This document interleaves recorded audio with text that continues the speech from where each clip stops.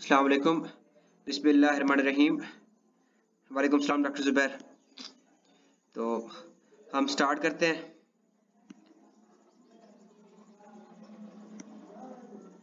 आज का लेक्चर आपको पता है एम्ब्रियोलॉजी का जो फ़र्स्ट लेक्चर हमने पढ़ा था we were talking about the fertilisation हम फर्टिलाइजेशन की बात कर रहे थे तो ज़रा मैं पीछे वाला रिवाइज कर दूँ जल्दी से।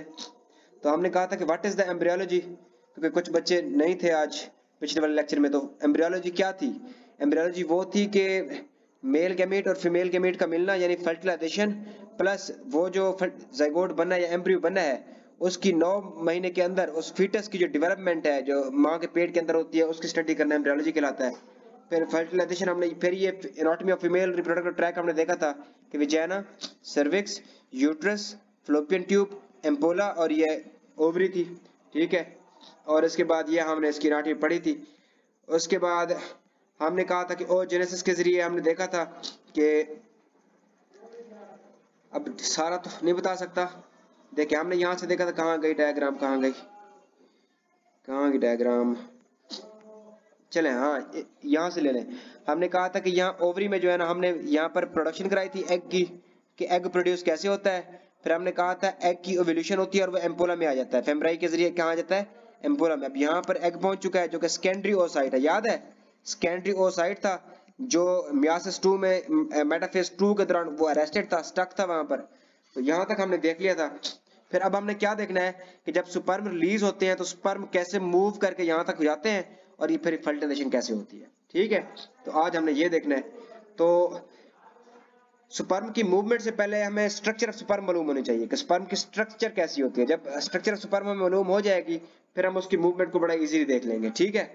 तो सुने जरा, सुने बड़ा आसान सा। है वो कहता है sperm cell consist of three portion head mid piece tail और फ्लैजेला तो ये इसके तीन पोर्शन होते हैं।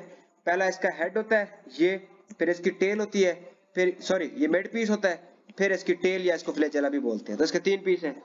तो सबसे पहले हम हेड की बात करते हैं कि हेड क्या है। तो हेड वो कहता है हेड में मजीद दो चीज़ें होती है। कितनी? दो चीज़ें। एक न्यूक्लियस होता है और दूसरा एक्रोसोम होता है। अब जो न्यूक्लियस होता है न्यूक्लियस के अंदर क्या होता है? न्यूक्लियस के अंदर 23 क्रोमोसोम्स होते हैं, यानी हिप्लाइड मेल गैमेट्स होते हैं। 23 क्रोमोसोम्स होते हैं, या फिर हम इनको हिप्लाइड मेल गैमेट्स बोलते हैं। वो होते हैं, ठीक है। उसके बाद जो एक्रोसोम होता है एक्रोसोम में क्या होता है? एक्रोसोम में हाइड्रोलाइटिक इंजाइम होते हैं। कौन से? हाइड्रोलाइटिक इंजाइम प्रोटियोलाइटिक इंजाइम ये इस तरह के उसमें इंजाइम होते हैं। फॉर एग्ज़ाम्पल एक्रोसिन एक्रोसिन तो इस तरह के आपके जो है ना हेड में दो चीज़ें होती हैं। ठीक है? पहली बात कि इसमें इसमें दो हेड हेड में दो चीज़ें होती हैं। देख, फिर फिर सुन लें, फिर सुन लें। हेड हेड में दो चीज़ें न्यूक्लियस जिसके अंदर मेल गैमेट यानी 23 क्रोमोसोम होते हैं haploid chromosome number of chromosome haploid one N होते हैं। दूसरा इसमें एक्रोसोम होता है। एक्रोसोम में क्या होता है? एक्रोसोम में हाइड्रोलाइटिक एंजाइम होते हैं, या फिर प्रोटीलाइटिक एंजाइम होते हैं। For example acrosin enzyme for example acrosin and protease and protease hydrolytic enzyme में एक्रोसिन हो गया और प्रोटीलाइटिक एंजाइम के एग्जांपल में प्रोटीएज हो गया। तो ये दो चीज़ें इसमें होती हैं। तो ये देख लें। Head of sperm cell contains nucleus, which is 23 chromosomes male haploid acrosome, which contains hydrolytic, proteolytic, and glycolytic enzymes such as acrosin, और इसमें प्रोटीएजेस भी होते हैं। ठीक है? तो उसके बाद मिड पीस उसके बाद ये मिड पीस आता है, ये वाला।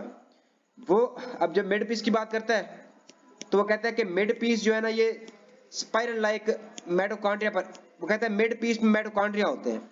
क्या होते हैं? माइटोकॉन्ड्रिया होते हैं। और ये माइटोकॉन्ड्रिया किस की तरह के होते हैं? स्पाइरल लाइक होते हैं, इस तरह। इस तरह स्प्रिंग की तरह, इस तरह, जैसे ये येलो कलर दिखाया जा रहा है। इस तरह स्पाइरल शेप के आपके माइटोकॉन्ड्रिया होते हैं। अब अब अगली चीज़। इन माइटोकॉन्ड्रिया का काम क्या होता है? इन माइटोकॉन्ड्रिया का काम क्या होता है? अब, आपके, होता है यहाँ पर फ्रक्टोज ये मैं बताता हूँ फ्रक्टोज कहाँ से आता है। जो माइटोकॉन्ड्रिया होते हैं, ये फ्रक्टोज को यूज़ करते हैं और फ्रक्टोज को यूज़ करके एटीपी की प्रोडक्शन कराते हैं, यानी एनर्जी की प्रोडक्शन कराते हैं। अब ये एटीपी कहाँ यूज़ होती है? जो आपका फ्लेजेला होता है, या आप कहें, कह लें कि जो टेल है सुपर्म की टेल है या फ्लेजेला है, ये जो है ना, उसको अपनी अपनी मूवमेंट के दौरान स्पर्म इसको यूज़ करता है फ्लेजेला इसको यूज़ करता है। और यूज़ करके क्या करता है, वो मैं आगे बताता हूँ, ठीक है? अभी आप इतना देख लें, फिर सुन लें। मैंने क्या कहा? मैंने कहा कि मिड पीस में स्पाइरल शेप मेटोकॉन्ड्रिया होते हैं। इन मेटोकॉन्ड्रिया का काम होता है कि फ्रक्टोज फ्रक्टोज को यूज़ करके एटीपी की प्रोडक्शन करना। और ये एटीपी यूज़ कौन करता है? आपका फ्लेजेला या फिर टेल मूवमेंट कराने में, यानी कि हरकत में यूज़ करता है।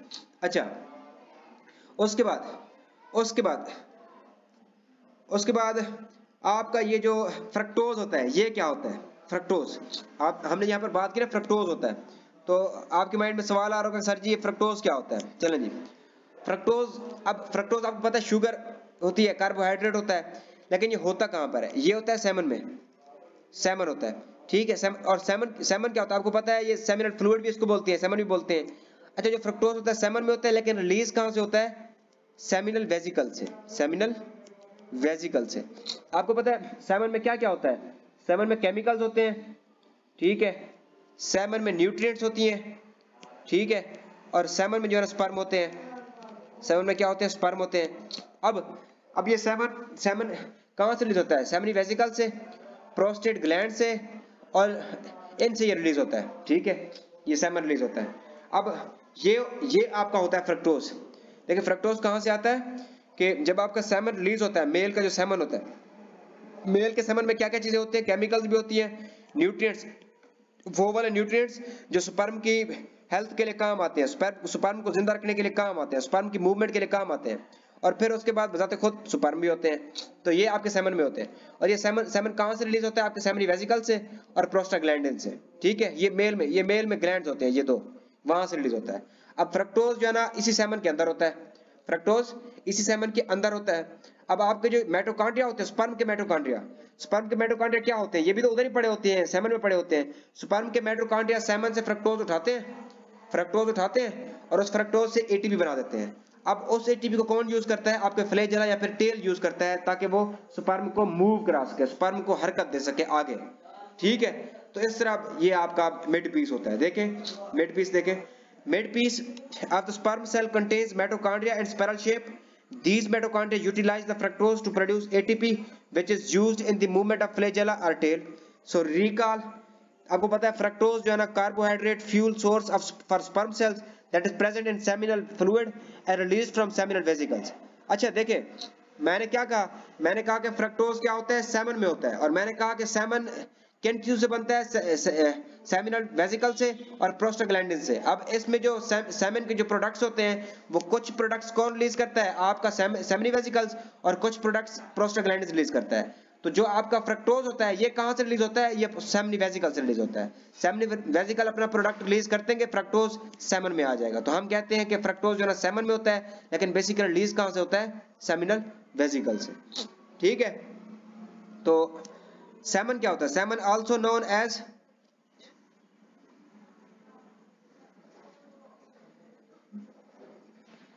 तो सेमन में also known as seminal fluid and contains sperms chemicals and nutrients secreted from seminal vesicle prostate glands and bulbourethral glands ये तीन ग्लैंड्स होते हैं। These chemicals and nutrients fertilisation to occur sir glucose नहीं, देखिए fructose होता है वहाँ पर। डॉक्टर अजय फ्रक्टोज होता है तो फ्रेक्टोज भी एक आपका जो है ना वो है।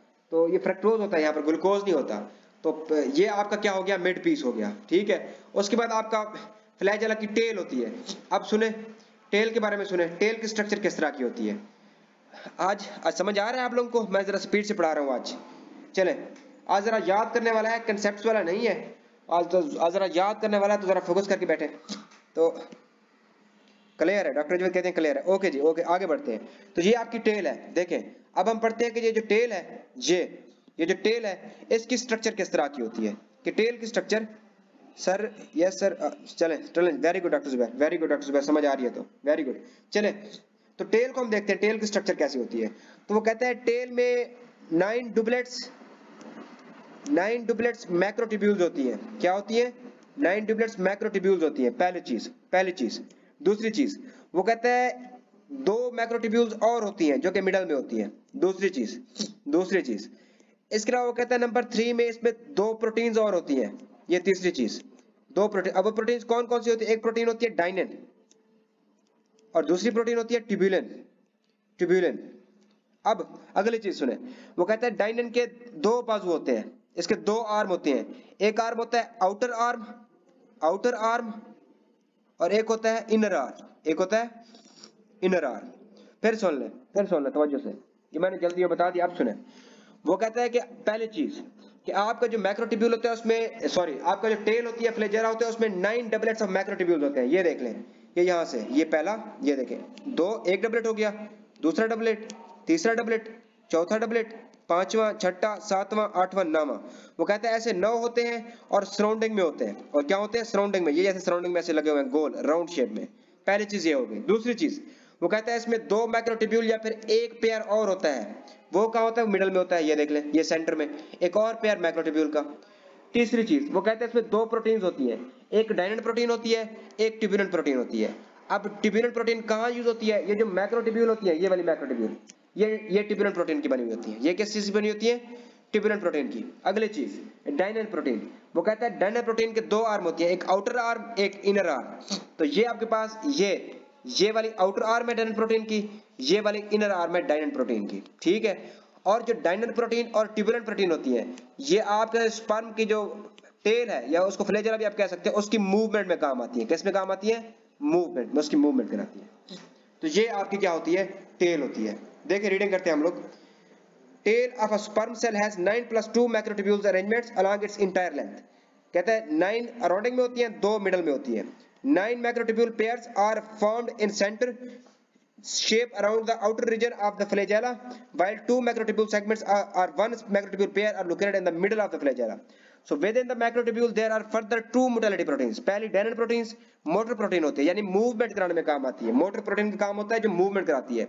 Consist of outer and inner arms and plays role in the transport of sperm cell तो ट्यूबुलेंट प्रोटीन साइटोस्केलेटन प्रोटीन होती है ठीक है also play role in movement और ट्रांसपोर्ट ऑफ़ स्पर्म सेल तो एक ही बात है तो वो कहते हैं इस तरह की जो सेल की आपके मूव इस तरह की जो स्ट्रक्चर है आपकी टेल की this kind of arrangement of macrotubules in the tail allows for powerful movement of sperm cells along the reproductive system so flagella is responsible for movement of the sperm cells in the reproductive tract by using atp flagella ATP use करता है। कौन सी ATP जो कि मेट्रोकॉन्ड्रिया ने बनाई थी। मेट्रोकॉन्ड्रिया ने कैसे बनाई थी? फ्रक्टोज को यूज़ करके। फ्रक्टोज कहाँ मौजूद था? सेमिनल फ्लूइड में। याद आ गया? याद आ गया? मैंने थोड़ी देर पहले कहा था। क्या कहा था मैंने? मैंने कहा था माइटोकॉन्ड्रिया जो कि मिड पीस में होते हैं मिडल में होते हैं, ये एटीपी प्रोड्यूस करते हैं। जो स्पाइरल शेप होते हैं एटीपी प्रोड्यूस करते हैं। एटीपी प्रोड्यूस कैसे करते हैं? फ्रक्टोज को यूज़ करते हैं। फ्रक्टोज कहाँ से आता है? सेमिनल फ्लूइड से आता है। सेमिनल फ्लूइड से आता है। चले, एक बार फिर सुन ले, पूरा सुन ले। पूरा एक बार फिर सोल ले। पूरा सुन ले। चले। चले जी। देखें। हमने कहा कि आपके स्पर्म के तीन पार्ट्स होते हैं। पहला पार्ट हेड दूसरा पार्ट मिड पीस तीसरा पार्ट तीसरा पार्ट टेल या फिर फ्लेजरा चले। हेड सुने।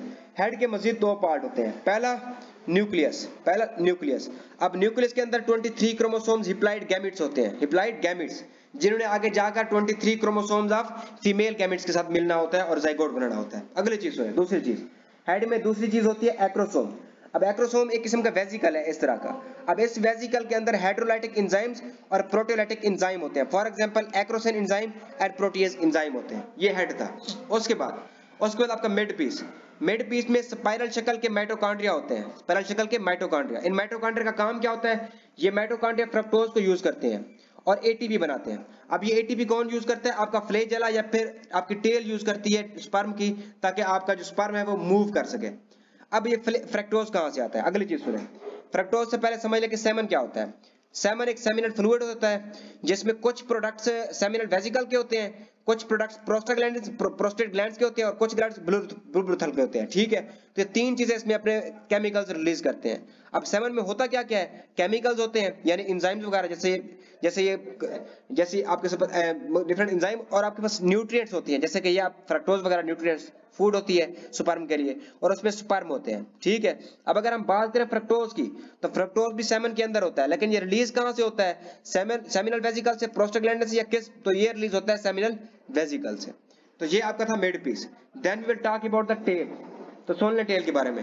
वो कहते हैं टेल में पहले इस तरह के नाइन मैक्रोटिब्यूल अराउंड होते हैं। चार, पाँच छ सात तो आठ होते हैं। और मिडल में दो और होती हैं। और इनमें ट्यूबुलेंट प्रोटीन और फिर आउटर आर्म और इनर आर्म डेन प्रोटीन होती है। ये मूवमेंट में काम आता है, ठीक है? और ये कैसे मूवमेंट में काम आता है? ये इस एटीपी को यूज़ करता है, जो फ्रक्टोज से मेटोकॉन्ड्रिया ने बनाई थी तो ये फ्लेजेला जो है इसको यूज़ करता है और मूवमेंट में काम आती है। तो समझ आ गई है? बताएँ मुझे, यहाँ तक समझ आ गई है कि आपका स्पर्म मूव कैसे करता है? अगर समझ आ गया तो बताएँ नहीं समझ आई तो बताएँ। समझ आ गया तो हम लोग फिर आगे बढ़ते हैं। चले जी डन है जी। सिर्फ़ डॉक्टर अजवत को समझ आया है और किसी को नहीं समझ आई। डॉक्टर जुबैर और डॉक्टर अजवत को समझ आया। चले डॉक्टर तला को भी समझ आ गई है वेरी गुड चले जी आगे बढ़ते हैं। आगे बढ़ते हैं। अगली चीज़ देखें। वो कहते हैं अगर जो पेशेंट एक पे, एक बंदा है जिसको डेफिशिएंसी ऑफ़ सिलीनियम जिसको सिलीनियम की डेफिशिएंसी है या फिर वो बहुत ज़्यादा शराब पीता है अल्कोहल कंज्यूम करता है एक्सपोयर टू वेरियस पेस्टिसाइड्स या फिर उसको रेडिएशंस के ऊपर उसकी, उसको एक्सपोयर है तो उसके अंदर उसकी जो स्पर्म है, उसमें म्यूटेशन हो सकती है। मेल है, जो जिसको, जिसके अंदर सिलीनियम की डेफिशिएंसी है कंजप्शन की, वो अल्कोहल ज़्यादा यूज़ करता है, या फिर वो पेस्टिसाइड्स और रेडिएशन की उसको एक्सपोयर है। वो ज़्यादा उसके ऊपर रेडिएशन पड़ती है या फिर पेस्टिसाइड्स के साथ उसका टाकरा ज़्यादा होता है। तो उसके अंदर म्यूटेशन होती है in the structure of sperm cell sperm cell में म्यूटेशन होगी, जैसा कि सुपर्म जैसे देखें, अभी हमने देखा सुपर्म सिंगल हेडेड है ना? तो ऐसे ऐसे पेशेंट में एक हेड की बजाय मल्टी हेडेड होंगे। एक हेड भी होगा, फिर दूसरा हेड होगा, फिर तीसरा हेड होगा तो स्पर्म के दो से तीन हेड होंगे। ठीक है? सिलीनियम डॉक्टर अजवत डॉक्टर यार ये सिलीनियम क्या होती है? केमिस्ट्री केमिस्ट्री नहीं पढ़ी आप लोगों ने? सिलीनियम क्या होती है? मेटल होती है मेटलाइट्स होती है कि नॉन मेटल होती है? क्या होती है सिलीनियम चले। चले डॉक्टर अजवत कहते हैं मेटल होती है। तो हाँ तो डॉक्टर अजवत फिर आपको पता है तो मेटल होती है सिलीनियम चले चले, अब हम अब हमने स्ट्रक्चर देख ली। अब हम देखते हैं movement of sperm within the female reproductive tract अब हम लोग देखते हैं कि स्पर्म मूव कैसे करता है। देखें, हमने हमने पहले क्या देखा था कि ओवरी में एग प्रोड्यूस हुआ। एक सेकंड होल्ड करें जरा।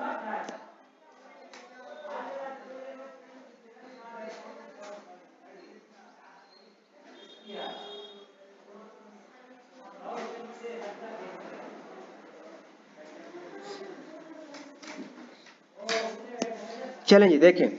हमने कहा ओवरी में एग प्रोड्यूस होता है, यानी स्कैंड्रियोसाइड फिर स्कैंड्रियोसाइड का वोल्यूशन आता है, वो फेमराई के ज़रिए एम्पुला में आ जाता है फ्लोपेन ट्यूब की फ्लोपेन ट्यूब की एम्पुला में। और स्कैंड्री वो कहाँ फंसा हुआ है? मियासिस 2 में। स्कैंड्रियोसाइड मियासिस 2 उसकी कंप्लीट नहीं है इनकम्प्लीट है। वो वहाँ पर स्टक है मेटाफेज 2 के दौरान स्टक है। यहाँ तक हमने पढ़ लिया, अब हमने स्पर्म की स्ट्रक्चर भी पढ़ ली। चले जी। अब आगे देखें। अब हम लोग देखते हैं कि यहाँ से जो स्पर्म है, वो रिलीज़ जब होता है तो यहाँ से आगे मूव कैसे करता है, कैसे यहाँ तक पहुँचता है? ये हमने देखना है, ये हमने देखना है। तो सबसे पहली चीज़ देखें, सबसे पहली चीज़ सुन लें। सबसे पहली चीज़ है, मैंने कहा था जब स्पर्म विजैना में रिलीज़ होता है तो स्पर्म कहाँ पर रिलीज़ होता है? मैंने कहा था अपर पार्ट ऑफ़ विजैना तो वह विजैना के अपर पार्ट के ऊपर आपका स्पर्म जो है ना, वो वहाँ पर आपके जो सीमन होता है, वो यहाँ पर इजेकुलेट होता है। ठीक है? जब वो यहाँ पर इजेकुलेट होता है तो आपको पता है कि जब स्पर्म यहाँ पर रिलीज़ होता है स्पर्म या सेमन तो वो यहाँ से ड्रेन आउट होकर नीचे गिर सकता है फ़ौरन। फ़ौरन। वापस आ सकता है ड्रेन आउट हो जाता है। तो इसके लिए इसका सोल्यूशन क्या होता है कि आपका जो सेमन होता है सेमन जिसमें स्पर्म न्यूट्रिएंट्स और केमिकल्स होते हैं उससे केमिकल्स में से एक उसके पास इंजाइम होता है जिसका नाम होता है वेजिकुलेज वेजिकुलेज एक इंजाइम होता है। अब ये वेजिकुलेज इंजाइम क्या होता है? वेजिकुलेज इंजाइम एक कोएगुलेज इंजाइम है कोएगुलेज इंजाइम है। कोएगुलेज इंजाइम का मतलब क्या होता है कि जो कोएगुलेशन कराता है। अब ये किसकी कोएगुलेशन कराता है? वो क्या करता है? आपका जो वेजिकुलेज इंजाइम होता है। क्या वेजिकुलेज एंजाइम क्या करता है? कि यहाँ पर आपका कौन सा फ्लूड आया? आपका सेमिनल फ्लूड आया। एक सेमन हुआ और दूसरा यहाँ पर विजैना में विजैनल फ्लूड पड़ा हुआ है। कौन सा फ्लूड पड़ा हुआ है? विजैनल फ्लूड तो दो फ्लूड पड़े हुए हैं। ठीक है एक विजैनल फ्लूड और एक सेमिनल फ्लूड तो जो आपका वेजिकुलेज इंजाइम है, जो कि कोएगुलेज इंजाइम है, कोएगुलेशन कराता है तो ये जो आपका सेमन होता है, यानी स्पर्म्स होते हैं, उसकी और विजैना विजैनल जो फ्लूड है, उन दोनों को आपस में मिला देता है, उन दोनों को फ्यूज कर देता है, यानी वो चिपचिपा, उनको कोएगुलेट कर देता है। क्या कर देता है? कोएगुलेट करता है। अब इस कोएगुलेशन से क्या होता है कि आपके जो स्पर्म होते हैं, ये स्पर्म जो है ना, ये आपकी विजैना की दीवारों के साथ यहाँ पर जाकर चिमट जाते हैं। यहाँ पर जाकर चिमट जाते हैं स्टक हो जाते हैं और यहाँ पर कोएगुलेट हो जाते हैं। तो पहली चीज़ क्या होती है कि जब सुपर्म रिलीज़ होते हैं सेमन रिलीज़ होता है तो सेमन ड्रेन आउट हो सकता है बैर। तो क्या होता है कि वहाँ पर आपका वेजिकुलेज इंजाइम होता है, किसमें होता है? सेमन में होता है। वो कोएगुलेज एंजाइम का काम क्या होता है? वो कोएगुलेशन कराता है। कैसे बोला वो विजैनल फ्लूइड और सेमिनल फ्लूइड दोनों को कोएगुलेट करता है एक दूसरे के साथ। और कोएगुलेट करने के बाद जो आपके स्पर्म होते हैं, ये स्पर्म क्या करते हैं? इन दीवारों के साथ जाकर चिमट जाते हैं। ये पहली चीज़, ये पहली चीज़। समझ आ गई यहाँ तक? यहाँ तक समझ आ गई है? अब अगली चीज़। अब अगली चीज़। अगला फिर एक और एंजाइम आता है। एक और एंजाइम आता है। इसी दौरान इसी दौरान एक और एंजाइम आता है, जिसका नाम होता है फेब्रिनोलाइसिस फेब्रिनोलाइसिस अब फेब्रिनोलाइसिस क्या करता है? चलें सुन लें फिर।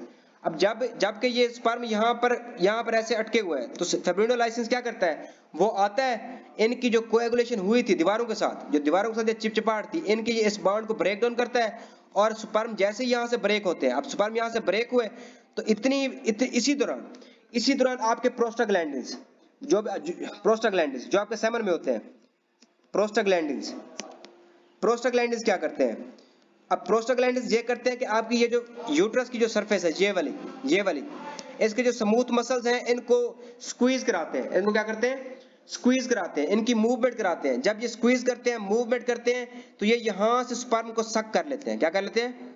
सक कर लेते हैं। तो ये स्पर्म को खींचकर स्पर्म सर्विस के ज़रिए कहाँ पहुँच जाते हैं? अब यूट्रस में पहुँच जाते हैं। फिर सुन लें। फिर सुन लें। यहाँ पर फिर सुन लें। थोड़ी सी गड़बड़, शायद आपको भूल रहा हूँ। देखें, यहाँ पर पहले रिलीज़ हुआ तो वेजिकुलेज के ज़रिए ये दीवारों के साथ जाकर चिमट गए। दीवारों के साथ जाकर? डॉक्टर अजवत मैंने बताया फेब्रिनोलाइसिन आपके सेमन में होता है सीमन में होता है, ठीक है? तो ये यहाँ पर जाकर चिमट गए पहला काम। दूसरा काम, जैसे चिमटते हैं, फिर आपका फेब्रिनोलाइसिस जो कि आपके सेमन में होता है, ये इसको यहाँ से इनका जो बांड है, वो ब्रेक डाउन कराता है। जैसे बांड ब्रेक डाउन होता है, अब आपको स्पर्म को नीचे गिर जाना चाहिए। नीचे गिरने से पहले प्रोस्टाग्लैंड जो आपके सीमन में होते हैं, ये आपके यूट्रस को क्या कराते हैं? स्क्वीज कराते हैं। तो आपके यूट्रस की जो स्मूथ मसल स्मूथ मसल होती है, दीवारें, ये स्क्वीज करके स्पर्म को सक कर लेती है। स्पर्म आप कहाँ पहुँच जाता है? आपके यूट्रस में पहुँच जाता है। तो स्पर्म कहाँ पहुँच गया? यूट्रस में पहुँच गया। अगली चीज़ अगली चीज़ सुने। अगली चीज़। अब अब सेमिनल प्लाज्मिन होता है। क्या होता है? एक और एंजाइम होता है। सेमिनल ये भी आपके सेमन में होता है। सेमिनल प्लाज्मिन होता है। अब सेमिनल प्लाज्मिन का काम क्या है? सेमिनल प्लाज्मिन प्लाज्मिन कहता है कि भाई, अगर आपके पास इधर यूट्रस में कोई बैक्टीरिया वगैरह है, कोई बैक्टीरिया वगैरह है तो मैं एंटीबायोटिक हूँ। मैं क्या हूँ? एंटीबायोटिक हूँ। तो आपका seminal plasmin as a antibiotic काम करता है। और आपके यूट्रस में जितने भी बैक्टीरिया या कुछ भी है, उनको क्या कर देता है? किल कर देता है, उनकी किलिंग कर देता है, ताकि यहाँ पर जो जाइगोट आए फर्टिलाइजेशन के बाद वो जाइगोट को एक प्योर स्टेराइल इन्वायरमेंट प्रोवाइड हो। वहाँ पर किसी बैक्टीरिया का कोई असर ना हो, वो आपके जाइगोट पर अटैक ना कर सके। फिर आपका एक और एक और आता है सेमिनल सेमिनल रिलैक्सन क्या आता है? सेमिनल रिलैक्सन अब सेमिनल रिलैक्सन का काम क्या होता है? सेमिनल रिलैक्सन यहाँ से स्पर्म को मजीद आगे मूव कराता है किस तरफ़? फ्लोपियन ट्यूब में एम्पोला की तरफ़। जहाँ पर हमारी क्या होनी है? फर्टिलाइजेशन होती है एम्पोला की तरफ़। फ्लोपियन ट्यूब से एम्पोला की तरफ़ मूवमेंट कराता है। कौन कराता है? सेमिनल रिलैक्सन अब सेमिनल रिलैक्सन से आपका जो आपका जो स्पर्म होता है वो कहाँ पहुँच जाता है? एम्पोला में। तो जब वो एम्पोला में पहुँच जाता है तो फिर आगे, यहाँ एम्पोला में पहुँचने के बाद तो आपका स्कैंड्री ओसाइट पड़ा था तो यहाँ पर ऊपर से स्पर्म पहुँच गया तो स्पर्म जाके ये स्कैंड्री ओसाइट की फिर जाके फर्टिलाइजेशन करता है। क्या करता है? फर्टिलाइजेशन अब फर्टिलाइजेशन कैसे करता है? वो हम नीचे देखते हैं कि स्टेजेस ऑफ़ फर्टिलाइजेशन कौन कौन से होते हैं। अभी ये फिर सुन लें इसको एक बार फिर सुन लें सारे को, ताकि ये आपके माइंड में बैठ जाए। इसको एक बार फिर सुन लें कौन से कलर से करूँ? चले ये हमने ग्रीन कम यूज़ किया। चले देखें। चले जी। सबसे पहले जो है ना, हमने कहा स्पर्म जब रिलीज़ हुए अपर पार्ट ऑफ़ वेजाना तो स्पर्म ड्रेन आउट हो जाते हैं। तो इससे बचने के लिए आपका वेजिकुलेज इंजाइम आता है, जो कि कोएगुलेज इंजाइम होता है सेमन में होता है। ये क्या करता है? ये आपके सेमिनल फ्लूइड और विजैनल फ्लूइड को आपस में कोएगुलेट कर देता है। इसकी कोएगुलेशन से आपको जो स्पर्म होते हैं, वो विजैना की सरफेस के साथ चिमट जाते हैं। अब चिमटने के बाद आपका एक और एंजाइम आता है, जिसका नाम होता है फेब्रिनोलाइसिस अब फेब्रिनोलाइसिस जल्दी से ये बांड ब्रेक करा जैसे ही बांड ब्रेक कराता है तो स्पर्म चाहते हैं कि हम ड्रेन आउट हो जाए। लेकिन फ़ौरन, उसी वक्त प्रोस्टाग्लैंडिन्स जो कि सेमन में होते हैं, ये आपके यूट्रस की क्या कराते हैं? ये यूट्रस को स्क्वीज कराते हैं स्मूथ मसल्स को। तो ये सक कर लेता है, तमाम स्पर्म सक होकर इधर पहुँच जाते हैं। फिर आपका क्या आता है उसके बाद? फिर आपका सेमिनल प्लाज्मिन आता है, जो कि इधर जितने भी एंटीबायोटिक ये एंटीबायोटिक काम करता है, तमाम बैक्टीरिया जो कुछ भी उनको किल कर देता है। फिर आपका सेमिनल रिलैक्सेंस आता है। सेमिनल रिलैक्सेंस आपके स्पर्म को लेके फ्लोपियन ट्यूब के ज़रिए एम्पोला तक लेके जाता है। फिर एम्पोला में जाके इसकी क्या होती है? वहाँ पर फर्टिलाइजेशन होती है। और फर्टिलाइजेशन कैसे होती है? अभी हम नीचे देखते हैं। ये देखें। After ejaculation ejaculation of semen into upper part of vagina, sperms can easily drain out of the vagina. ठीक है? तो vesiculase a coagulase enzyme present in seminal fluid तो ये सेमन में होता है and release from seminal vesicles तो हमने कहा था ना कि सेमन को सेमिनल वेजिकल्स भी बनाती हैं और प्रोस्टाग्लैंडिस भी बनाते हैं। तो जो आपका जो वेजिकुलेज होता है, ये कौन भेजता है? उसमें सेमिनल सेमिनल वेजिकल्स भेजती है। Causes seminal and vaginal fluid to coagulate with each other and sperm cells adhere to the surface of vagina to avoid the drainage of sperms out of vagina तो sperm आपके adhere कर जाते हैं vagina की surface के साथ दूसरी चीज़ सुने during coagulation and adhesion of sperm cells with the vaginal surface fibrinolysis enzyme होता है in seminal fluid and released from prostaglandins अब ये कहाँ से रिलीज़ होता है prostaglandin से रिलीज़ होता है ठीक है होता है seminal fluid में ये भी breaks up coagulation and causes entry of sperm cells into cervix ठीक है? तो ये उनको सर्विस में भेज देता है। Prostaglandins present in seminal fluid and release from the seminal अभी सेमिनल वेसिकल से रिलीज़ होता है। इंड्यूस द पेरिस्टोलिक कंट्रैक्शन आपके ना यूट्रस की जो स्मूथ स्मूथ मसल्स हैं, उनमें पेरिस्टोलिक कंट्रैक्शन कराता है। पेरिस्टोलिक कंट्रैक्शन कराता है, यानी सक स्क्वीज कराता है and causes retropulsion of the uterus this retropulsion pulsion and contraction of uterus squeeze the sperm cells further along the female reproductive tract तो उनको सक कर लेते हैं, ठीक है? फिर आता है आपका seminal plasmids present in seminal fluid and release from ये प्रोस्टाग्लैंडिन रिलीज़ होता है acts as an antibiotic and destroy bacterial cells and microbes present in the female reproductive tract. In this way, seminal plasmids ensure that the female reproductive tract has a sterile environment for reproduction. चलें जी अगली चीज़ अगली चीज़ अगली चीज़ देखें जी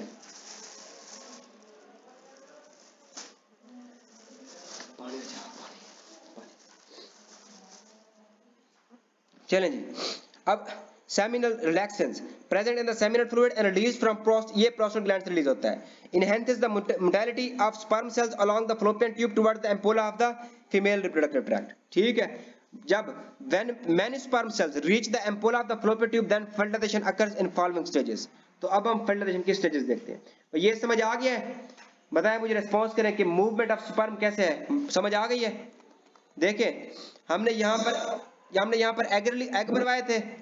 फिर वहाँ से हमने एग को रिलीज़ करा के यहाँ पहुँचाया था एम्पोला में, जो कि सेकेंडरी ओसाइट है। मेटाफेज टू में स्टक है। मेटाफेज टू में स्टक है। इधर से हमने स्पर्म रिलीज़ कराया। स्पर्म को हमने मूव करा के यहाँ तक लेके गए। अब स्पर्म इधर भी जाएँगे, इधर भी जाएँगे। अब दोनों तरफ़ क्या पहुँच चुके हैं? स्पर्म पहुँच चुके हैं। अब स्पर्म भी एम्पोला पे पहुँच चुके हैं। एग भी एम्पोला पे पहुँच चुके हैं। अब इनकी फर्टिलाइजेशन कैसे होती है वो हम देखते हैं। तो स्टेजेस ऑफ़ फर्टिलाइजेशन ये देखें। जी जी। जी जी ज़रूर।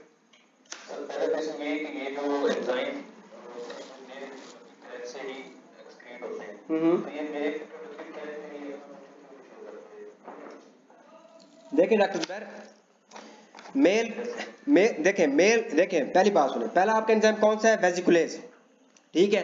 अब अब वेजिकुलेज का काम क्या है? वेजिकुलेज का काम है कि vaginal fluid plus plus seminal fluid vaginal fluid plus seminal fluid तो आपके मेल रिप्रोडक्टिव ट्रैक में सेमिनल फ्लूइड तो होता है कि वहाँ पर विजैनल फ्लूइड होता है? नहीं। तो वहाँ पर ये काम करेगा आपका वेजिकुलेज नहीं। दूसरी चीज़, दूसरा एग्ज़ाम कौन सा आपका? हमने फेब्रिनोलाइसिस पढ़ा है। फेब्रिनोलाइसिस इन कोएगुलेशन को तोड़ता है। जब आपके मेल रिप्रोडक्टिव ट्रैक ट्रैक में कोएगुलेशन हो गई नहीं तो ये तोड़ेगा वहाँ पर? नहीं। प्रोस्टाग्लैंडिन्स प्रोस्टाग्लैंडिन्स क्या करता है? इसको स्क्वीज करता है ताकि स्पर्म को हम सक कराएँ ठीक है? तो ये यहाँ से इनको सक करने के काम आता है। तो वहाँ पर ऐसा कोई फ़ंक्शन नहीं होता। तो अब समझ सब, समझ आ गई है? चले। जी जी।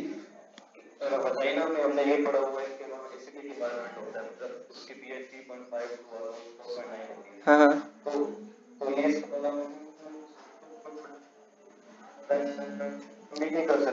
क्या नहीं कर सकती?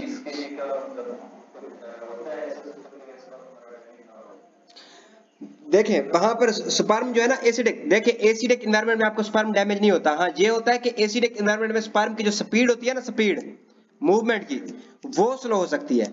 और उसको कैसे फास्ट करना है वो मैं आगे आपको बताता हूँ ठीक है? ठीक है?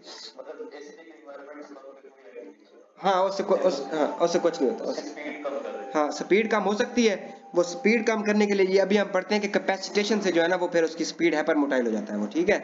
ये अभी अंक पढ़ते हैं आगे जाके। तो देखें स्टेज ऑफ़ फर्टिलाइजेशन यहाँ से देखें। पहली चीज़ है आपका कैपेसिटेशन अब ये आपका ये देखें ये डायग्राम देखें। ये आपका क्या है भाई? स्कैंड्री ओसाइट है। ये आपका स्पर्म पहुँच गया है स्कैंड्री ओसाइट के पास पहुँच गया। दोनों एम्पोला में पड़े हुए ठीक है? मैंने दोनों को जूम कर दिया। दोनों एम्पोला में पहुँच गए अब अब अब अब, अब सुने अब क्या होता है? अब ये आपका ये आपका क्या है? स्पर्म सेल है। अब ये स्पर्म सेल का हेड ये उसका बीच मिड पीस और ये उसकी टेल ठीक है? अब अब अब हमारी जो चीज़ें हैं वो स्टार्ट होंगी हेड से मेनली हेड मेन अब देखें हेड के ऊपर हेड में क्या क्या होता है? पहली बात बताया इसमें न्यूक्लियस 23 क्रोमोसोम्स इसके अंदर दूसरा क्या होता है? एक्रो एक्रोसोम एंजाइम होते हैं, ठीक है? और तीसरी चीज़ हेड के ऊपर कुछ प्रोटीन्स होती हैं, जैसा कि ग्लाइकोप्रोटीन्स ग्लाइकोप्रोटीन्स होती हैं, पहली चीज़। दूसरी चीज़, इसमें प्रोटीन्स होती हैं ग्लाइकोप्रोटीन मतलब प्रोटीन प्लस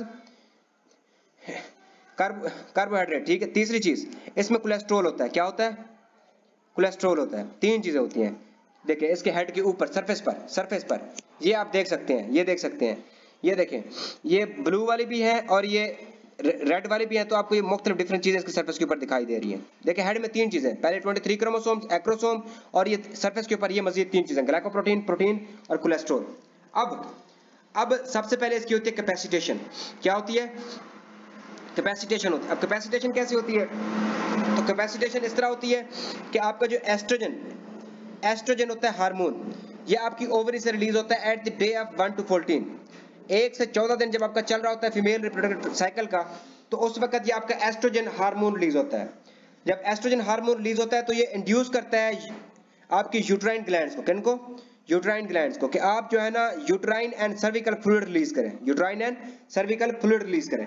अब ये यूट्राइन और सर्विकल फ्लूइड क्या काम करता है? कि आपके स्पर्म की सरफेस के ऊपर, देखें देखें, यहाँ पर सही समझ आ रहा था। देखें देखें एस्ट्रोजन रिलीज़ होता है। क्या रिलीज़ होता है? एस्ट्रोजन कब? 1 टू 14 डेज़ कहाँ से? ओवरी से। अब एस्ट्रोजन क्या करता है? यूट्राइन ग्लैंड के पास जाता है। किन के पास? यूट्राइन ग्लैंड के पास। उनको कहता है कि आप यूट्रस से और कहाँ से? सर्विक्स से। आप जो है फ्लूइड सेक्रेट करें। क्या? फ्लूड अब ये फ्लूइड क्या काम करता है? ये फ्लूइड जाता है स्पर्म्स के पास। जैसे ही अब जब ये आपका स्पर्म मूव कर रहा होता है ना throughout the reproductive tract उसके ऊपर ये अमल कैपेसिटेशन वाला हो रहा होता है। Throughout the throughout the female reproductive tract अब ये फ्लूइड जो होते हैं, ये जो सिक्रेशन होती है आपकी यूट्राइन ग्लैंड्स की, ये सिक्रेशन क्या करती है कि इसके ऊपर जो ये ग्लाइकोप्रोटीन्स प्रोटीन्स और कोलेस्ट्रॉल लगे हुए हैं। इनको यहाँ से रिलीज़ कर देती है। इनको यहाँ से मतलब इनके बांड ब्रेक कराती है और इनको यहाँ से रिलीज़ करती है। अब आपके स्पर्म के ऊपर सिर्फ़ और सिर्फ़ specific sorry specific modified modified glycoproteins होती हैं। क्या होती हैं? ग्लाइकोप्रोटीन्स होती हैं। ठीक है? तो फिर सुन लें, फिर सुन लें। देखें, हमने कहा कि हेड में 23 क्रोमोसोम्स एक्रोसोम ग्लाइकोप्रोटीन्स प्रोटीन्स और कोलेस्ट्रॉल इसके सरफेस के ऊपर होते हैं। अब, अभी हमने इन तीनों ऊपर काम करना है। तो जब आपका फीमेल साइकिल 1 टू 14 डेज़ के ऊपर होता है तो एस्ट्रोजन रिलीज़ होता है ओवरी से। ये यूट्राइन ग्लैंड के पास जाता है कि आप आप यूट्रस फ्लूइड और सर्विकल फ्लूइड रिलीज़ करो। ठीक है? मैंने बताया था ना यूट्रस के तीन पार्ट्स होते हैं cervix body of the body of the uterus and fundus तो ये सर्वेक्स और uterine body of the uterus को बोलती है कि आप जो है ना क्या रिलीज़ करें? ग्लैंड्स सॉरी फ्लूइड्स ये फ्लूड जाते हैं इस इस इस इस स्पर्म के पास, इसके हेड से कोलेस्ट्रॉल ग्लाइकोप्रोटीन प्रोटीन सबको रिमूव करते हैं और स्पेसिफिक मॉडिफाइड ग्लाइकोप्रोटीन्स इसकी सरफेस के ऊपर रह जाती है। यहाँ तक समझ आ गया? This step is called capacitation this step is called capacitation अगली चीज़ सुने। आगे क्या होता है? आगे अब आपका जब हेड हेड जब आपका कैपेसिटेशन हो जाती है, अब एक्रोसोमल रिएक्शन होता है। अब क्या होता है? एक्रोसोमल रिएक्शन अच्छा एक्रोसोमल रिएक्शन में क्या होता है? एक्रोसोमल रिएक्शन में ये होता है कि आपका जो सुपर्म अब स्पर्म के ऊपर क्या लगी हुई है स्पेसिफिक ग्लाइकोप्रोटीन्स हेड के ऊपर। अब आपका हेड जाता है। चलिए, इससे पहले एक और चीज़ सुन लें। इससे पहले आपको समझिए देखें, ये आपका क्या है? सेकेंडरी ओसाइट है, जो कि मेटाफेज 2 में स्टक है अरेस्टेड है और एम्पोला में आ चुका है ओवल्यूशन हो चुकी है रिलीज़ हो चुका है। अब इसकी दो सरफेस होती है। पहली सरफेस होती है सेल मेम्ब्रेन ठीक है? और एक ऊपर से एक और सरफेस होती है जूना पेलेसुडा क्या? जूना पेलोसिडा तो ये इसकी एक और सरफेस होती है। अब अब जूना पैरासूडा के ऊपर रिसेप्टर्स होते हैं जिनको हम बोलते हैं। Zona pellucida receptor type three GP three GP three तो ये ये समझ आ गया कि सेकेंडरी और साइड में दो चीज़ें होती हैं। एक एक सेल मेम्ब्रेन और एक उसका जूना पैरासूडा जूना पैरासूडा के ऊपर रिसेप्टर्स होते हैं जिनको हम zona pellucida receptor type three बोलते हैं। चले जी, अब क्या होता है? अब अब अब ये समझ आ गया होगा आपको। थोड़ा सा सेकेंडरी और साइड के बारे में। आगे देखें जी, आगे देखें। अब क्या होता है? आपका सुपर्म, जिसके हेड के ऊपर स्पेसिफिक मॉडिफाइड ग्लाइकोप्रोटीन्स लगी हुई है। वो यहाँ पे आता है और सेकेंडरी ओसाइड के ऊपर जो कि जूनापोलोसिडा है। जूनापोलोसिडा के ऊपर ये zona pellucida type three receptor ये ब्लैक वाले, ये लगे हुए हैं, ये लगे हुए हैं, ये लगे हुए हैं, ये लगे हुए हैं। तो जितने भी स्पर्म आए हैं, सारे स्पर्म क्या करते हैं? जीपी थ्री के ऊपर जाकर अटैच हो जाते हैं। किन के ज़रिए? स्पेसिफिक मॉडिफाइड ग्लाइकोप्रोटीन्स के ज़रिए। जैसे ही अटैच होते हैं, जैसे ही अटैच होते हैं तो आपके हेड में कौन सी दो चीज़ें थी? हमने कहा था 23 क्रोमोसोम और एक्रोसोम होती है। तो इसकी जो एक्रोसोम वेजिकल्स होती हैं, जैसे ही ये अटैच होगा जीपी थ्री के साथ तो फ्यूज होगा। जैसे ही फ्यूज होगा जीपी थ्री के साथ तो एक्रोसोम वेजिकल्स के अंदर जो इंजाइम थे, आपके कौन से enzyme hydrolytic and proteolytic enzyme उनमें मैंने कहा था एक्रोसिन और प्रोटीएजेस इंजाइम होते हैं। ये दोनों वहाँ से रिलीज़ हो जाते हैं। कहाँ से? एक्रोसोम से। तो जैसे ही फियन होगी हेड की और जीपी की तो आपके जो एक्रोसोमल वेसिकल्स हैं, उनके अंदर से एक्रोसोम एक्रोसिन और प्रोटीएज रिलीज़ हो जाते हैं। अब ये दोनों हाइड्रोलाइटिक एंजाइम कटिंग एंजाइम होते हैं। तो ये एंजाइम जाके आपकी ये जो जूना पेलिसिडा की जो लेयर है, इसमें सुराख कर देते हैं। इसमें क्या करते हैं? सुराख होल क्रिएट कर देते हैं। अब, जब इसमें होल क्रिएट होता है तो जैसे ही होल क्रिएट होता है तो वहाँ से सुपर्म अंदर एंट्री कर जाता है। अब सुपर्म वहाँ से अंदर एंट्री कर जाता है। अब सबसे पहले कौन सा सुपर्म अंदर एंट्री कर आप लोगों ने एक चीज़ सुनी होगी कि जो हमारा सेमन होता है या एक टाइम में जो नंबर ऑफ़ सुपर्म रिलीज़ होते हैं, वो मिलियंस में रिलीज़ होते हैं। कई मिलियंस रिलीज़ होते हैं। लेकिन उनमें से सिर्फ़ एक सुपर्म क्या कराता है आपका? फर्टिलाइजेशन कराता है। तो वो कैसे कराता है? देखें। तो इनमें से जो ताकतवर जो, जिसमें जो स्ट्रांग स्पर्म होगा, वो सुपर मोटिलेशन में मोटेलिटी में सबसे आगे होगा। मूवमेंट उसकी सबसे ज़्यादा होगी तो वो सबसे आगे भाग रहा होगा। तो वो सबसे पहले पहुंचेगा जीपी थ्री के पास। जब वो सबसे क्योंकि पावरफुल है। जब वो पहले पहुंचेगा तो वो जीपी के साथ रिएक्शन अटैच पहले होगा। जब वो पहले अटैच होगा तो उसका एक्रोसिन और प्रोटीएस पहले रिलीज़ होंगे। तो वो पहले सुराग करेगा और वहाँ से अंदर दाखिल हो जाएगा।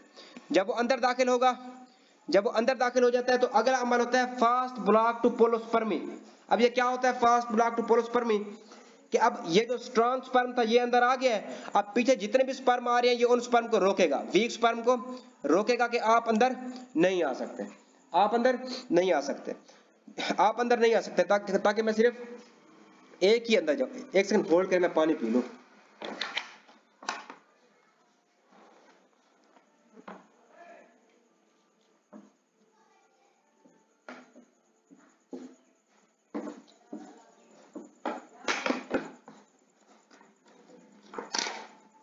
चलें जी चलें जी।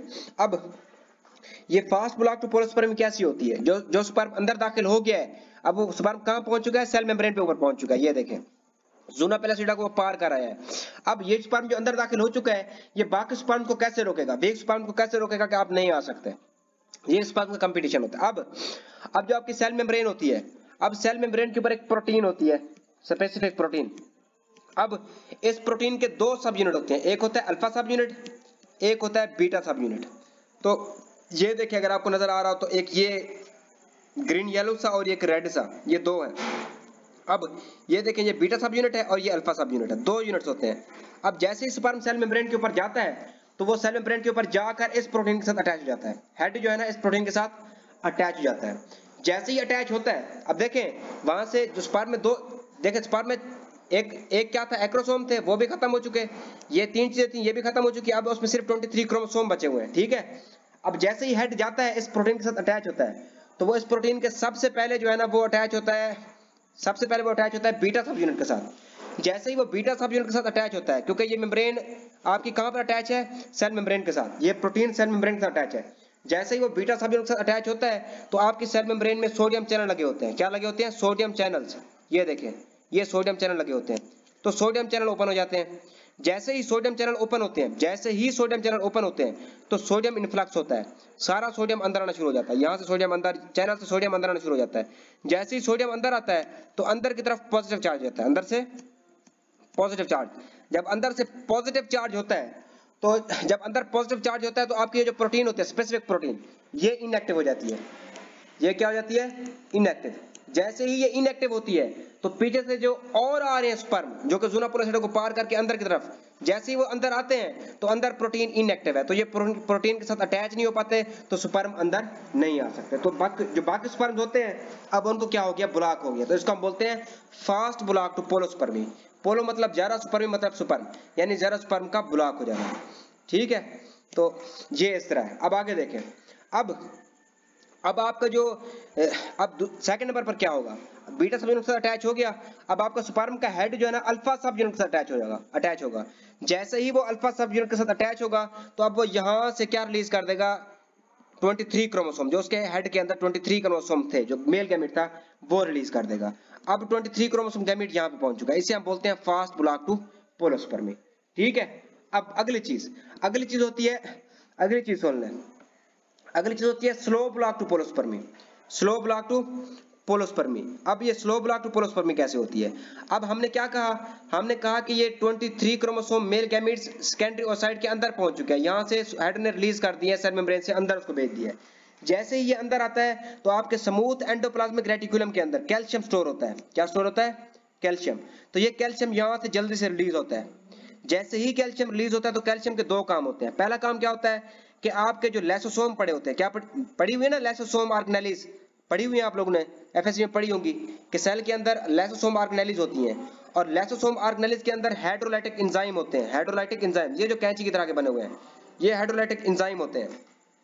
अब जैसे ही ये 23 chromosome, haploid gamete, male gamete ने इंटर हुआ तो स्मूथ एंडोप्लाज्मिक रेटिकुलम से कैल्शियम रिलीज़ होगा। कैल्शियम सबसे पहले लेसोसोम के पास जाएगा। जैसे ही लेसोसोम के पास जाएगा तो लेसोसोम माइग्रेट करके जूना पैलासूडा की तरफ़ जाएगा। किसकी तरफ़? सेल मेम्ब्रेन और जूना पेलासुडा की तरफ़ माइग्रेट करेगा। सॉरी ये तो ये।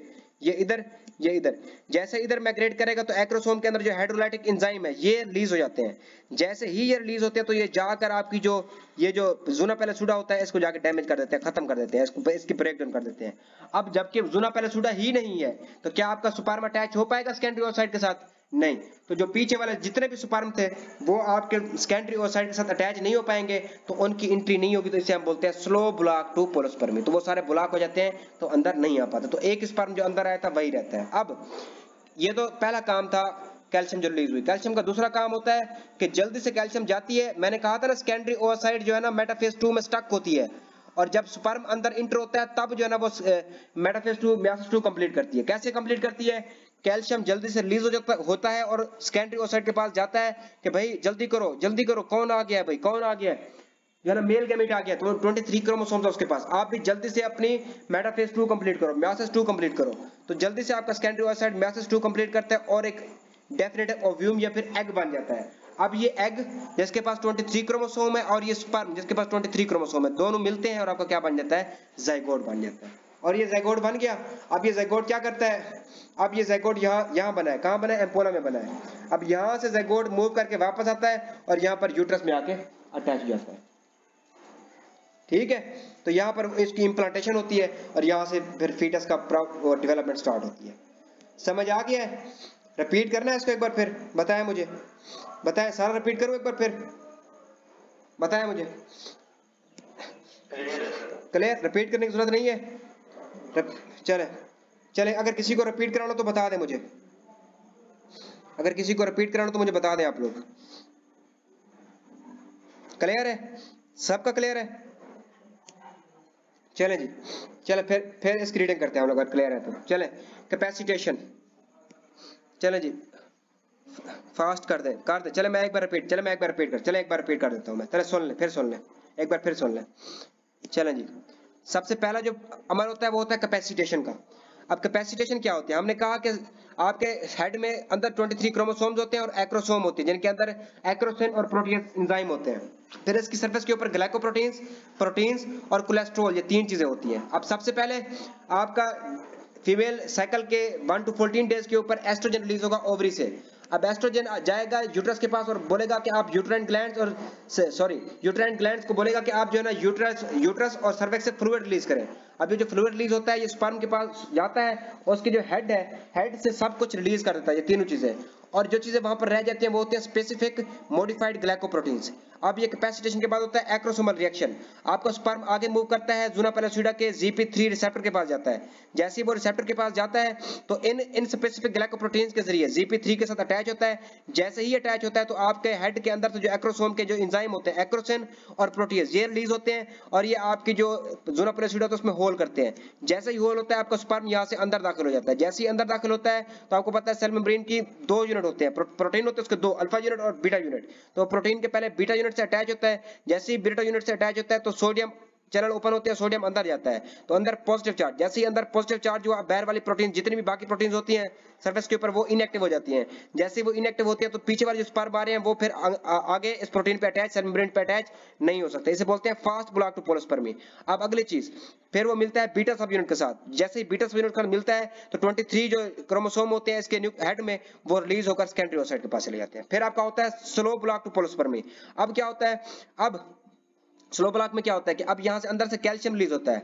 जब आपका 23 मेल गैमीट हिप्लाइड अंदर जाता है तो स्मूथ एंडोप्लाज्म रेटिकुलम में कैल्शियम रिलीज़ होता है। कैल्शियम के दो काम होते हैं। पहला काम, कि आपके लेसोसोम को एक्टिव करेगा तो लेसोसोम माइग्रेट करेंगे toward cell membrane zona pellucida और अंदर से हाइड्रोलाइटिक एंजाइम रिलीज़ करेगा हाइड्रोलाइटिक एंजाइम जाकर जूना पेलेसुडा को डिस्ट्रॉय कर देंगे। तो जूना पेलेसुडा नहीं होगी जीपी नहीं होगी तो बाकी स्पर्म को यहाँ पर अटैच होने की जगह नहीं मिलेगी। तो इसे बोलते हैं स्लो ब्लॉक टू पोलोस्पर्मी यानी पोलो का मतलब बहुत से स्पर्मी का मतलब सुपर्म यानी बहुत से स्पर्म को वो ब्लॉक करता है। लेकिन स्लो ब्लॉकेज होती है। फिर कैल्शियम दूसरा काम करता है कि जल्दी से सेकेंडरी के पास जाता है। कहता है, जल्दी से आप मेटाफेज टू कंप्लीट करो क्योंकि 23 क्रोमोसोम मेल हिप्लाइड आ गया। आप भी 23 chromosome female haploid ovum egg बनाओ, ये बन जाता है। फिर इनका आपस में फियन होती है और आपका जैगोट बन जाता है। फिर आपका जैगोट मूव करता है। एम्पोला से दोबारा यूट्रस की तरफ़ और वहाँ पर जाकर इसकी इम्प्लांटेशन हो जाती है। ठीक है? आप समझ आ गया? चलो मैं रीडिंग करा देता हूँ इसकी जल्दी से। मजीद समझ आ जाएगा। मजीद समझ आ जाएगा। Sperm head has many products on its surface such as glycoproteins, proteins and cholesterol. During capacitation, estrogen hormone released by ovary from 1 to 14 days of female reproductive cycle induces the production of uterine and cervical fluids from uterine glands. These fluids remove the most products from the surface of the sperm head and leaves the sperm head with specific modified glycoproteins. जहां पर समझना है मुझे रोक लेना आप लोग The capacitation of sperm head makes the sperm cell hypermotile. Dr. Nadeem? Capacitation से क्या होता है? आपका जो स्पर्म होता है, वो हाइपर मोटाइल हो जाता है and increase its motility as it moves towards zona pellucida type 3 receptors upon its surface of zona pellucida ठीक है? तो ये उसकी मोटालिटी कैसे इंक्रीज होती है? कैपेसिटेशन से। ठीक है? तो नोट कि आपका ज़ूना पेलासुडा क्या होता है? एक्स्ट्रा सेलुलर सेल से बाहर थिक ट्रांसपेरेंट मेम्ब्रेन होती है। मेम्ब्रेन कोट होता है that surround the secondary oocyte capacitation occurs throughout the female reproductive tract तो कैपेसिटेशन पूरे फीमेल रिप्रोडक्टिव ट्रैक में होती रहती है। Second process acrosomal reaction once the capacitated sperm cell reach the ampulla of the fallopian tube it recognize and binds with the GP three receptors upon the surface of zona pellucida we have specific modified glycoproteins on the surface of the sperm head This binding or fusion causes opening of membranes of the sperm head and acrosomal vesicles present in sperm head fuses with GP3 receptors and this fusion of acrosomal vesicles with GP3 causes release of chemicals such as acrosin and proteases from acrosomes. Acrosin and proteases burrow a hole into the zona pellucida to get access to the cell membrane of the secondary oocyte अब fast block कैसे होगा cell membrane of oocyte has a specific protein with one alpha and one beta subunit once a single strong and powerful sperm gets an access to the sperm cell membrane first it binds with beta subunit this binding causes opening of sodium channel and influx of sodium into the oocyte through cell membrane Sodium influx causes a positive charge across the surface of the cell membrane and this positive charge prevents the binding of further sperm with the membrane. Thus, it only enables entry of single sperm cells and prevents the entry of all other sperm cells and is called fast block to polyspermy. Next, eventually sperm cell binds with the alpha subunit and causes the fusion of the head of the sperm with cell membrane and sperm releases its nuclear material into the oocyte. This nuclear material is haplide 1 and gamete, male gamete, male haplide 1 and gamete with 23 chromosomes. Slow block to polyspermy. Once the nuclear material male gamete enters the secondary oocyte, calcium ions will be released out of the smooth endoplasmic reticulum into cytosol. These calcium ions cause activation of lysosomes. These activated lysosomes migrate towards and bind with the cell membranes and release hydrolytic enzymes. These hydrolytic enzymes break down the zona pellucida and all its, its products. So no further sperm can attach with zona pellucida and cannot get access to the secondary oocyte. It is called slow block to polysomy. Next, these calcium ions released from smooth endoplasmic reticulum also cause the secondary oocyte to complete meiosis 2 which was arrested in metaphase 2. As secondary oocyte completes its meiosis 2, it changes into haplide 1 and definite ovum or egg with 23 chromosome. अब एक हिप्लाइड female हिप्लाइड egg बन गया ovum बन गया 23 chromosome के साथ एक उधर स्पर्म से आया हुआ है 23 क्रोमोसोम मेल गैमेट हिप्लाइड वो दोनों आ गए अब दोनों में क्या होगा? फर्टिलाइजेशन होगा। कैसे? The haploid one and definite ovum and haploid one and male gamete will fuse and a zygote diploid 2n अब 2n बन जाएगा। 23 23 46 बन जाएँगे। Will be formed in the ampulla of the fallopian tube. This zygote migrates toward the uterus for implantation. तो वो जाके आगे implantation करते हैं। समझ आ गया? काफ़ी है कि आगे पढ़े क्लीवेज बताया मुझे? आगे क्लीवेज पढ़ेंगे? काफ़ी है। बताएँ जी, डॉक्टर रात इनफ है? चले ओके चौक, चले ओके इनफ है। और सुन ले, कल और परसों छुट्टी है। नौ और दस मुहर्रम है फिर इंशाल्लाह ताला हम ग्यारह मुहर्रम से जो है अपना आगे लेक्चर स्टार्ट करें। ठीक है? ओके ओके अल्लाह हाफिज टेक केयर अल्लाह हाफिज।